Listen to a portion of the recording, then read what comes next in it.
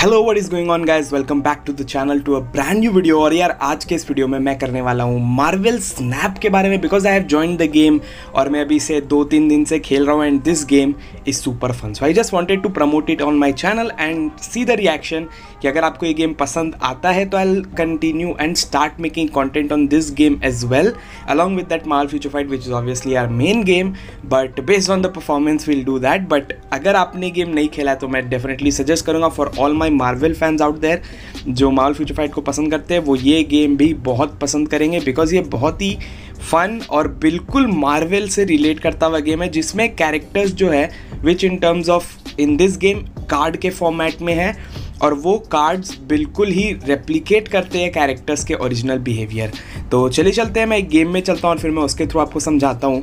तो बेसिकली यहाँ पे मैं गेम के थ्रू ही आपको समझाऊँगा. तो यहाँ पे हर एक कार्ड का एक डिफरेंट एबिलिटी होता है एंड तीन डिफरेंट लोकेशन होता है जहाँ पे हमें कार्ड्स प्ले करने होते हैं. एंड ओपोनेंट भी at the same time card को चलता है. तो ये बेसिकली एक पीवीपी फॉर्मेट है और पूरा पीवीपी पे ही बेस्ड है. तो आपको अपने एनिमी को आउटविट करना है. यानी कि उनके दिमाग में क्या चल रहा है और वो क्या कार्ड खेलेंगे उसके बेसिस पे। तो यहाँ पे आप देख सकते हो, पहले टर्न पे ऑस्कॉप टार रिवील होता है। इसका एबिलिटी है कि after turn three all cards here swap sides इसका मतलब टर्न थ्री मतलब पहला टर्न अभी चल रहे हैं हम, उसके बाद थर्ड टर्न के बाद सारे कार्ड जो यहाँ पर होंगे, वो अपना साइड को स्वॉप कर लेंगे। बेसिकली दूसरे तरफ़ चले जाएँगे, या फिर यहाँ पे, या फिर यहाँ पे। तो बेसिकली अभी हमें अपना पहला टर्न चढ़ना उसका कोई टाइमर दिया हुआ है हमें नीचे। और साथ में हमारे पास यहाँ पे वन एनर्जी है। बेसिकली हम वन एनर्जी का कार्ड चल सकते हैं। जैसे कि यहाँ पे रॉकेट रकून हुआ। वन एनर्जी टू कॉस्ट तो बेसिकली मैं ये यहाँ पे चल के एंटर्न कर दूँगा।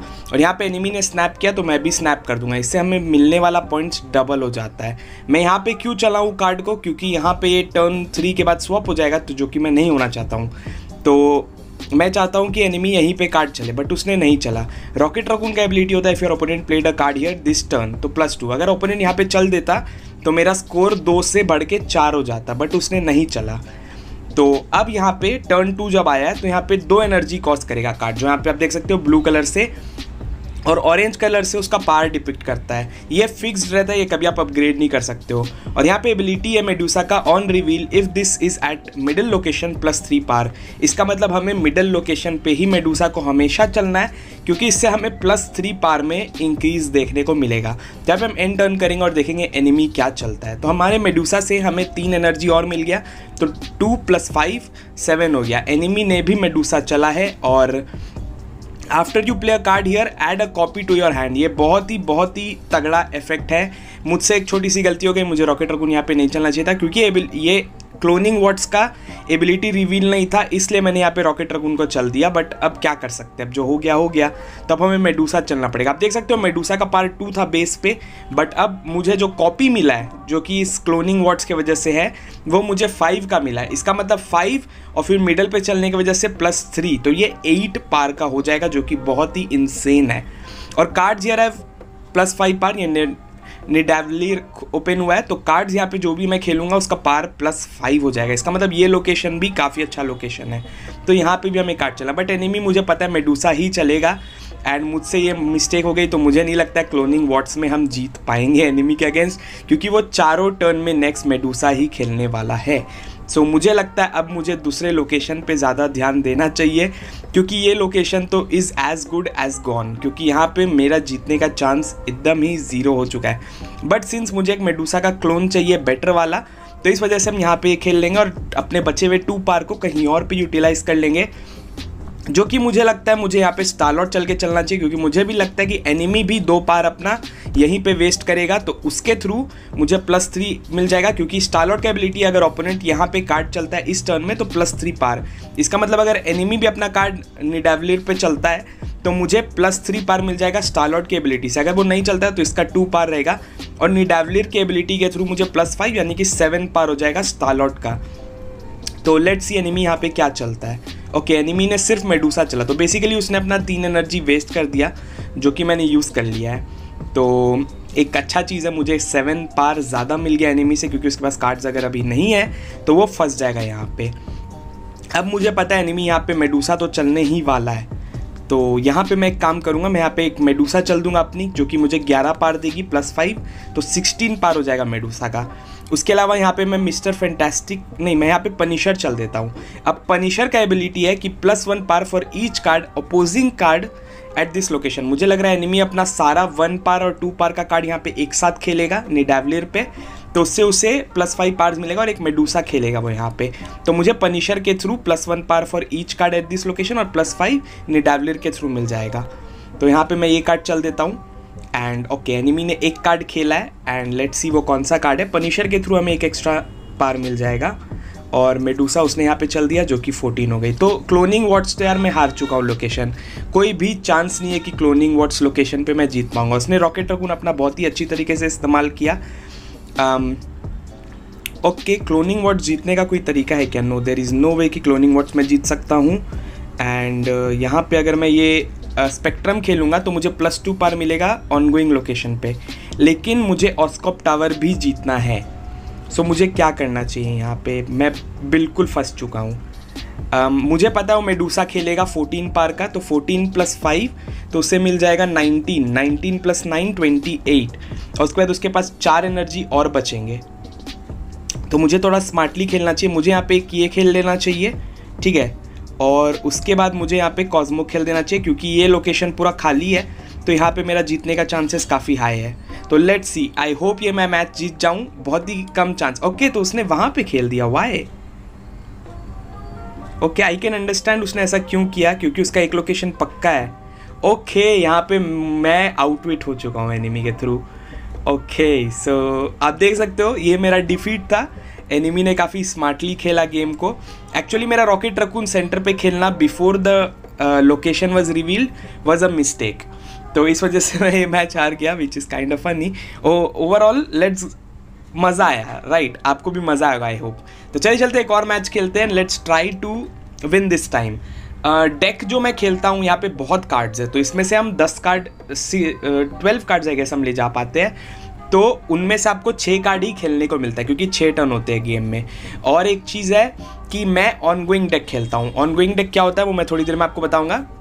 बट अभी यहाँ पे थंडरबर्ड हमारा ओपोनेंट आया let see what we can do against him and मज़ा आएगा, ठीक है? तो पहला लोकेशन में this turn all cards must be played here अब देखो, अगर यहाँ पे रॉकेट रकून होता तो this would have been the best card to play here क्योंकि यहाँ पे रॉकेट रकून में चलता तो अच्छा रहता, क्योंकि रॉकेट रकून अभी मेरे हैंड में नहीं आया है तो बेसिकली मेरे पास वन एनर्जी का कोई कार्ड नहीं है तो मुझे टर्न स्किप करना पड़ेगा which is a very upsetting thing for me तो बेसिकली उसे एक एनर्जी का एडवांटेज है मेरे पास नेक्रोशा पे कार्ड्स है माइनस टू पारियर तो यहाँ पे मुझे कार्ड नहीं खेलना है बाय एनी मीन्स तो लेकिन मैं यहाँ पे कार्ड खेलूँगा? नहीं, मैं यहाँ पे कार्ड नहीं खेलूँगा. Let's play Colossus here just to be safe ठीक है? दो एनर्जी हमारा वेस्ट हमें नहीं करना है. ओके सो ही यूज़ कालेट विच कालेट विच क्या करती है? लोकेशन का पार को चेंज कर देती है. After turn five give all card here plus two power तो इसका मतलब यहाँ पे कार्ड खेलने का एडवांटेज है टर्न फाइव तक। मतलब जितने भी कार्ड्स है टर्न फाइव तक हमें यहीं पे खेलने चाहिए। Okay after turn three ruins a random location तो ये भी एक काइंड ऑफ़ क्रेजी लोकेशन है। अब हो सकता है कि Los Diablos base basically Stark Tower को डिस्ट्रॉय कर दे। तो हमें संभल के खेलना पड़ेगा, ठीक है? तो यहाँ पे what I play is I play Captain America just to be safe क्योंकि कैप्टन अमेरिका क्या करता है? यहाँ पे जितने भी कार्ड है, उनको प्लस वन पार देता है। ठीक है? तो यहाँ पे हम कैप्टन अमेरिका खेल देंगे तो हमारा कोलोसस का पार वन से इंक्रीज हो जाएगा कैप्टन अमेरिका का एबिलिटी के थ्रू तो लेट्स सी एनिमी क्या खेलता है यहाँ पे। Okay he played Mr Mr. Okay decent move not the best. Okay starter okay thank God starter destroy नहीं किया। एंड ये बीच वाला लोकेशन जो बेसिकली वेस्ट था, अब उसे हम यूज़ कर सकते हैं। It is now a good location ठीक है? यहाँ पे हम क्या खेलेंगे अभी? मुझे पता है वो ये स्टार्क टार पे कार्ड खेल सकता है मोस्ट प्रॉबली क्योंकि ये टर्न फोर है। What I do is I play Medusa just to be safe ठीक है?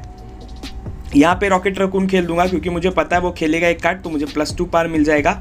ओपोनेंट जब एक कार्ड चलेगा। उसके अलावा मैं नाइट क्रॉलर खेल दूँगा। अब नाइट क्रॉलर का एबिलिटी ये है कि वो एक लोकेशन मूव कर सकता है कभी भी।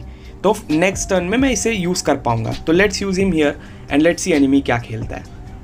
मोस्ट प्रॉबली उसे स्टार्क टार पे ही कार्ड खेलना चाहिए। और मे भी वो नहीं खेलेगा, क्योंकि ये लोकेशन फिर फिक्स हो जाएगा। यस वो नहीं खेलेगा। मुझे काइंडा एक अंदाज़ा था कि वो यहाँ पे नहीं खेलेगा। बट ठीक है।